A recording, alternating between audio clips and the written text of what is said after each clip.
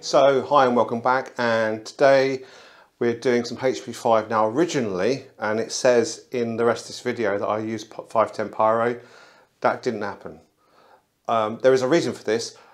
When I was out taking the photographs in London, I was on my way to a job and I was in some, stuck in St Pancras. I wanted to go out and take some shots in the city, but the weather was so desperately bad. There was absolutely nothing I could do. So I actually went around St Pancras Station and took some photographs inside St Pancras Station at 400 ISO with the HP5. And some of the shots, when I was taking them, I was thinking, this is going to be something really nice, something i will be pleased with. And I didn't want to risk developing in 510 Pyro and then not having um, a good developed film something I'd be unhappy with when I can develop it in something like FX39, which I which I know as a developer from uh, from times gone by. So I developed it in FX39 instead. So you'll hear me talking about uh, 510 Pyro. That's not what happened. I'm going to do that. I've been, I think I've got another Pentax camera coming from somebody, which would be quite good. So I will probably put the other HP5 in that and do that in 510 Pyro. If the Pentax doesn't work out, I can tell if it's broken, then that won't that won't happen. I will just do it in something like uh, my the Olympus trip that I've got and then do that in uh, 510. Was I pleased with the results I took? Yeah, I was, but I don't know how the grain should look with FX39 with HP5. It looks quite coarse, the grain, to me. Um, so if any of you can comment explain to me if you think that's that's the particular reason for that.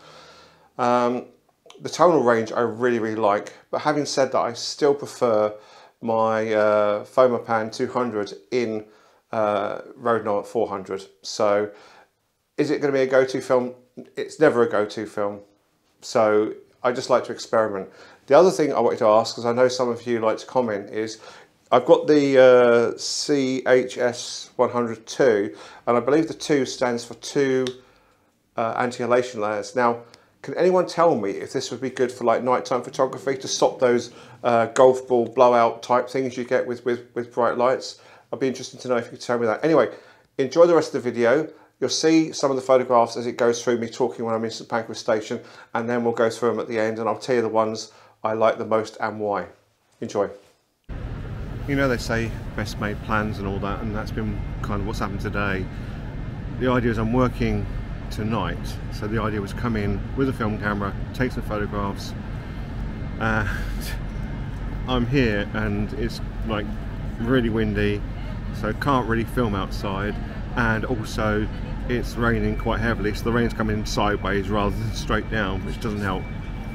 So I'm in St Pancras Station and I've got some HP5 Plus.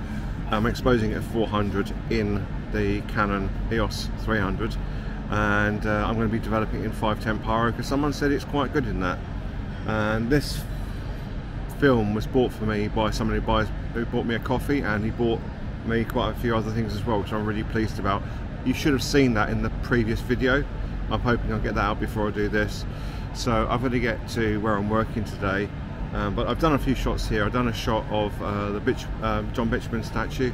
I've done one of the um, the uh, Tracey Emin effort uh, with the clock in the background and I've taken one outside of a I guess it was like a 1970s build or 1980s build office block with this strange lift on the outside. So I've done those and uh, I'm going to try and take a few more before I have to head off to work but I can't really go anywhere. Uh, the first idea was to go to Westminster. That that's just not going to happen and then I was going to walk through Somers Town to Euston and I get the tube from Euston but it, the weather is just so bad it's just not not worth me doing it. So I just thought so, I thought I saw someone I knew but I, but it's not them. Anyway so yeah that's the problem with, with planning like this it's just not not the best. But um, I'm going to try and get into London at the weekend as well and do some more shots and go to Westminster and there's a few other places I still want to go to that I've never been to and then I'm planning ahead for weeks to come. I've got lots of different films to try out uh, thanks to people buying me coffees and if you can buy me a coffee that'd be really really great. Alright let's get on. So the other major problem I've got in here is um, shutter speeds uh, I'm running sometimes at 45th of a second, which isn't good. It's up to 125th at f8, which isn't bad, but it's, it's it goes down to 4.5 at uh, say 30th of a second, which is not a good handheld speed. So the likelihood is I'm going to get a lot of blurs. And um, the things I wanted to photograph, if I'd have used the flash, I'd have got like a reflection straight back at the camera. So it wasn't really really suitable for what I wanted to do. Although I don't think there's a problem using a flash gun inside St Pancras Station. I've never I've never seen people told off for using a flash gun or whatever. So um, I took a photograph of the booking office. Uh, what was the booking office is now a high-end um, restaurant type, cafe type place, and you probably can't see him over there. But there's there's uh, way behind me on the other side there was a security guard, and um, he was standing looking at his phone with his back to me. So I got a shot of him as well, which was quite fun. Um, I don't know whether I'm going to show you these photographs as I go along, or if I will uh, instead look at them at the end. So I could do both actually. So I could, you can see them now, and then I, could we could go through at the end. I can zoom in and look at how well the 510 Pyro has dealt with the um, HP5 Plus. Um, I say I didn't want to push the the film. I wanted to use it as a 400 rather than push it to 8 or 1600, which I quite easily could have done, but um, it kind of defeats the object if I wanted to use it in a particular type of developer. Um, because I'm testing out, people are saying how it's, it's really, really good. Anyway, onwards. Okay, so I don't want to make these videos overly long, but I want to go through some of the photographs with you that I took with the uh, HP5 Plus. Now, I've not used HP5 Plus since it was HP5. So I've never actually really used it. So I don't know what I'm looking at in the sense of the grain and all those sorts of things. Can I get the grain finer with a different developer? Could I do that with 510 Pyro? Those sorts of things. So so you're my eyes on this one because I don't really know. As I say, never really used to use HP5 because I was a Delta fan. So I used to use Delta a lot. Okay, so I want just take a look at a few of the uh, photographs I've taken. And um, I saw this guy from a distance coming cycling up, and I saw the two women, and I thought making making a nice shot of just these three people in this frame, and it's out quite well. So I was quite pleased with this one. The ones I'm most pleased with, we'll show you in a few minutes, is the ones I did in London, which you've already seen. Okay. And I remember seeing the swan just coming to land. I wanted to try and get it here, but I was too late. I've got the shot of the lady on the actual bench with the with the swan landing. Um, so I don't know if this grain is if it's you know I don't know what to say because I've never used HP5 Plus at all, and I don't know how grainy it is. Is this what I'm? Is this what you're supposed to be looking at? Okay. And I was trying to imitate the shot I did with the Fomapan 200 pushed to 400, and yeah, it's not as good. Um, the lighting wasn't as striking this time round as it was the time round when I did it with the Fomapan. So that's probably what I was expecting from it.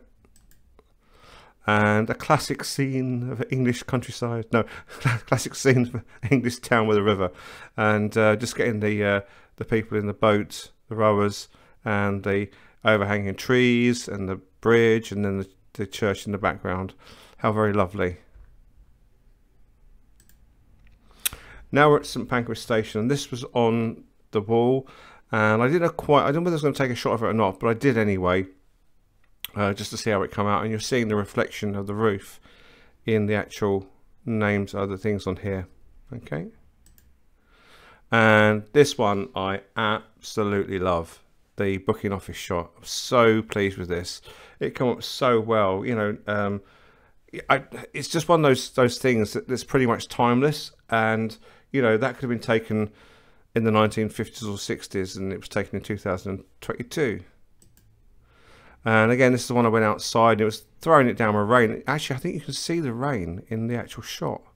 Um, and it, it, looked quite good. Um, not the best of shots, but still, it was worth a go. And this shot, this is my is this my favourite shot? Because it's a shot I took in Bedford, which I'll show you. But this is probably one of the two favourite shots. Uh, this customer services assistant standing looking at his phone, and then the woman walking the other way with the mobile phone as well. Brilliant. I, I, I can't say brilliant about my own photographs, but yeah, I, I was just really, really pleased with this. And um, got some lot of blowout from the light coming in at the front here, but that can only be expected. It's just, it's a really difficult to place to take photographs in with this with the type of light you get in there. And I quite like this one with the, the, the Tracey Emin and then the clock. I think that's really, really quite a nice shot. I was really pleased with this. And this is why I didn't want to develop in 510 Pyro because I didn't know what I'd get. With the FX39, it's more of a standard developer. So I knew I, I knew roughly what I'd get with it. And this is what I expected from it. And then uh, the photograph of Betjeman. And uh, yeah, I think I've dropped him too far down in the frame. I think there's too much headroom on this one. And um, I should have come down slightly on that. Something like that sort of thing would have probably worked worked a lot better. And again I saw this that's been, it's actually been there since 2014 I'm surprised the council haven't cut it off. And I when I was looking at this I thought this would make a nice shot. And it has. I'm really really pleased with it and I've got a few more of the rowers and then the uh, geese wandering through. They were all in a line, and I didn't get to it in time. These were back here, and they look so much better the other side of the bridge. And again, the swans, and swans again. And I like the way the actual uh, cloud has come out on this. It's um, there's no filters or anything, just as as it was. And this is the other shot that I love. I've never been able to take a good photograph of this these stairs. It goes onto what's called Castle Mound. And every time I've taken a shot, it's never been any good. But this one, I'm really, really pleased with. And there was some poppies opening, some some big, huge poppies. And I thought I'd take a couple of shots. There's two photographs of that.